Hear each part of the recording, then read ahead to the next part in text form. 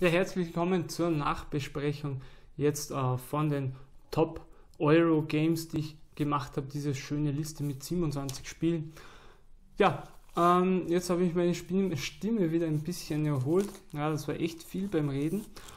Und ich habe mir gedacht, oder habe es euch versprochen, ich zeige euch mal hier meinen Schmierzettel, ja, und damit ihr sehen könnt, wie hart das eigentlich ist, so eine Liste aus so vielen Spielen zu erstellen. Ja, also dann stehen wir mal auf und ich zeige euch das mal.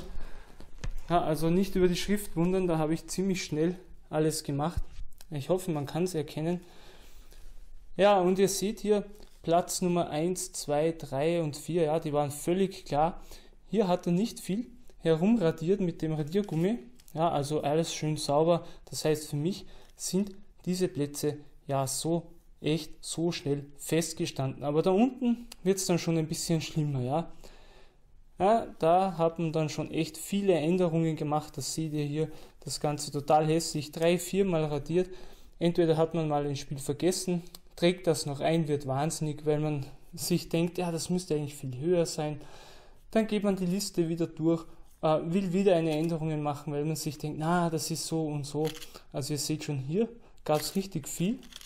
Und bei der anderen Seite dann auch, ja, also richtig viel Schmiererei gab es da. Und alleine da schon kann man erkennen, wie schwierig es ist, eigentlich so eine Liste zu erstellen. Ja. Aber Platz 1, 2, 3 und 4 hier der Beweis haben mich voll überzeugt. Da gab es eigentlich wirklich keine Änderungen. Das waren auch die ersten Plätze, die ich sofort geschrieben habe. Ja, so ist es wirklich heftig, das Ganze. Und Ah, ihr habt sicher jetzt auch noch die zweite Seite gesehen. Das war die letzte Partie Prehistory ja, gegen meine Frau. Verloren 58 zu 56, richtig knapp. Ja, sehr toll. Hoffe ich, das war ein guter Einblick. Ihr müsst es mal selber versuchen, wie schwierig das ist, so etwas ja auch zu machen. Ja. Man will ja auch kein Spiel irgendwie bevorzugen. Äh, es ist wirklich schwierig, ein Spiel dem anderen den Vorzug zu geben, weil sie alle gut sind. So, und wie versprochen jetzt die Spiele, die ich bei mir zu Hause noch sozusagen auf dem kleinen Pile of Shame habe, die ich, sorry, jetzt noch spielen möchte. Und zwar fange ich mir ein mit einem Spiel aus der Messe New Order Corps Deluxe. Ja, da steht ein Spiel über Marketing und Manipulation Angesichts stetig schwindender Macht korrupter Regierungen übernehmen Megacorps mehr und mehr die Führung der Welt, aber auch ihre Macht hat Grenzen. In dieser schönen Welt völlig vernetzter Weltbürger halten Medienkonzerne alle Fäden in der Hand. Ja, so sieht das Spiel dann aus. Ja, ähm, habe ich mir vor längerer Zeit mal kurz die Anleitung durchgelesen, kann mich nicht mehr so erinnern. Ähm, ja, bin ich gespannt, wie das funktioniert wie man sich da gegenseitig in die Quere kommt. Äh, eins bis vier Spieler, sehr interessant. Hm? Muss mal schauen, wie das funktioniert. Also ich versuche jetzt nicht zu viel über die Spiele zu reden, ich habe sie auch noch nicht gespielt. Ja, dann Yamatai habt ihr sicher schon gesehen von meinem Regal. Habe ich beim letzten Games for Life Spiele Event gewonnen. Kam ich auch noch nicht dazu, es zu spielen. Sieht erstmal sehr schön aus, sehr farbenfroh das Spiel. Bin ich gespannt, wie sich das dann spielen wird. Ah, Yamatai. Dann als nächstes ein Spiel, das ich mir sozusagen auf dem Flohmarkt gekauft habe. Trois, ja, zu einem richtig guten Preis. Wird, glaube ich, auch eine Neuauflage kommen von diesem Spiel.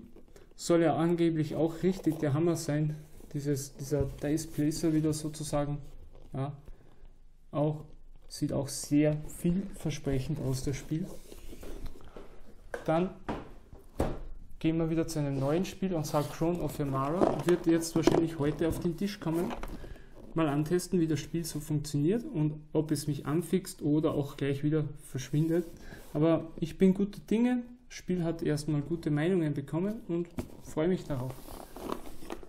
Dann noch ein neues Spiel und zwar Solenia. Geht schon eher Richtung Familienspielbereich, bekam aber auch schon sehr gute Wertungen, auch von der Messe mitgebracht.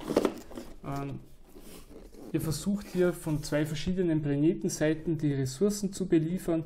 Ja, je nachdem, wo das Schiff ist, könnt ihr euch hier auf dem Feld na, eben diverse Felder ausbreiten und die Boni abgreifen. Ja, bin ich auch schon sehr gespannt. Ähm, wie das Spiel ist. Hoffentlich ganz gut. Und dann hier von der letzten, also von der vorletzten Messe habe ich mir mitbringen lassen, auch ein schweres Paket eigentlich. Manhattan Project, ihr versucht eine Atombombe zu bauen.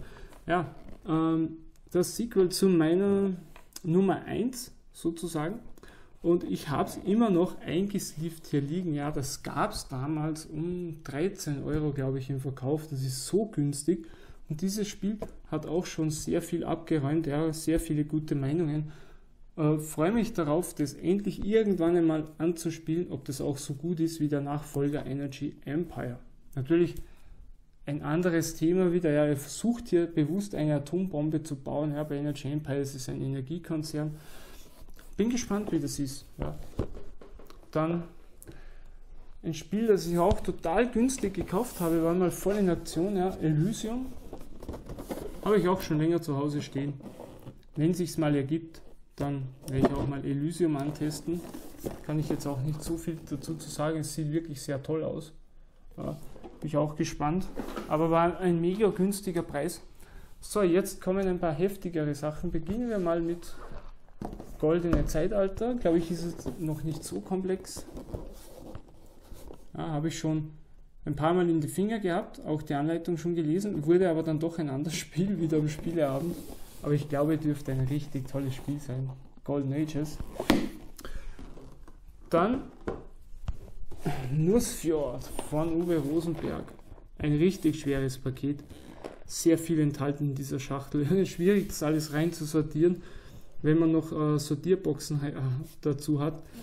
Aber ja, ein Spiel, in dem ihr Anteile kaufen könnt, verkaufen, äh, fischen und so weiter. Ja, da gibt es auch schon sehr tolle Rezensionen. Aber bin schon richtig gespannt, wie sich das Spiel spielt. Ja, auch meine Frau freut sich auch schon darauf. So, dann haben wir ja schon mehr, etwas mehr Zündstoff noch. Ora et Labora.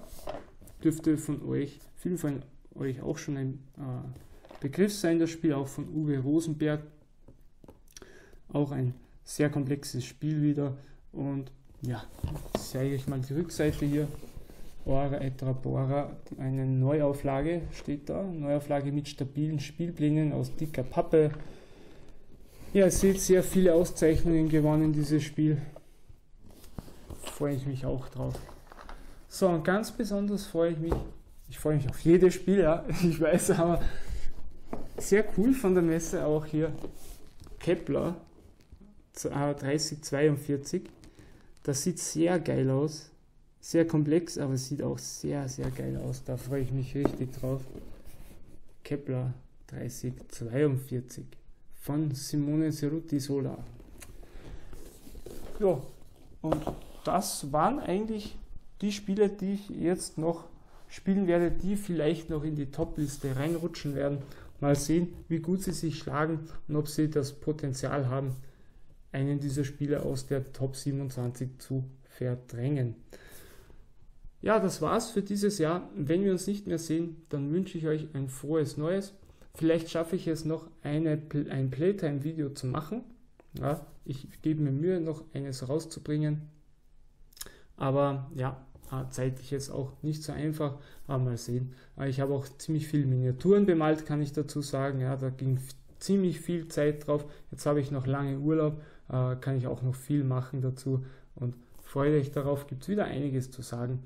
Und ich hoffe, wir sehen uns dann bis zum nächsten Video und ihr hattet viel Spaß mit meiner Top-Liste und es war spannend für den einen oder anderen von euch. Hoffentlich auch ein schönes Spiel dabei gewesen, das ihr noch nicht. Und dann habe ich noch für euch Dominant Spaces. Ja, das Video musste ich jetzt noch reincutten, ich hätte es fast vergessen. Ganz brandneu, gestern erst bekommen. So eine Art Reprint, glaube ich, ja, äh, steht hier 2018. Das Material sieht sehr, sehr schön aus in diesem Spiel. Und ihr bekommt da gleich noch, oder ihr habt schon ein Unboxing-Video dazu bekommen, das werde ich jetzt gleich im Anschluss noch machen und als erster hochladen. Dann sehen wir uns mal die Materialien an, was da drin sind. Und Dominant Spaces soll sehr, sehr geil sein. Ich kenne auch schon jemanden, der es schon ein paar Mal hat, gespielt hat und der es auch besitzt. Und der bin richtig gespannt auf dieses Spiel. Sieht sehr geil aus. Ja, äh, Gibt es bei P3 Comics auch zu kaufen. Ja, könnt ihr bestellen, bekommt auch wieder eines rein. Wenn ihr interessiert seid, Dominant Spaces, so eine Art Reprint, könnt ihr vorbestellen bei P3 Comics. Und ja, das war's. Euer Stream Board Gamer. Bis zum nächsten Video auf meinem Kanal. Vielleicht auch schon nächstes Jahr oder erst nächstes Jahr. Bis zum nächsten Mal. Ciao.